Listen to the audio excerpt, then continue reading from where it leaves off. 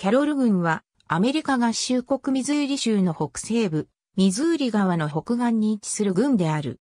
2010年国勢調査での人口は9295人であり、2000年の1285人から9.6%減少した。郡庁所在地はキャロルトン市であり、同郡で人口最大の都市でもある。キャロル郡は1833年1月2日に、レー郡から分離して設立され、郡名はアメリカ独立宣言に署名したキャロルトンのチャールズ・キャロルにちなんで名付けられた。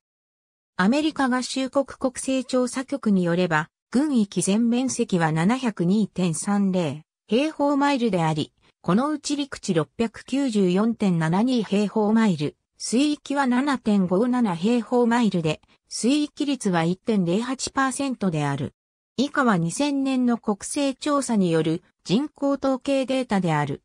キャロル郡の地方レベルでは、共和党が大半の政治を支配しており、軍の選挙で選ばれる役職は3人を除いて独占している。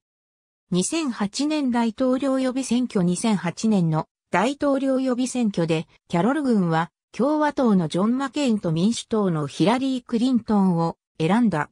民主党の予備選挙ではヒラリー・クリントンが1位となり、さらに共和党予備選挙で各候補に投じられた票数よりも多かった。ありがとうございます。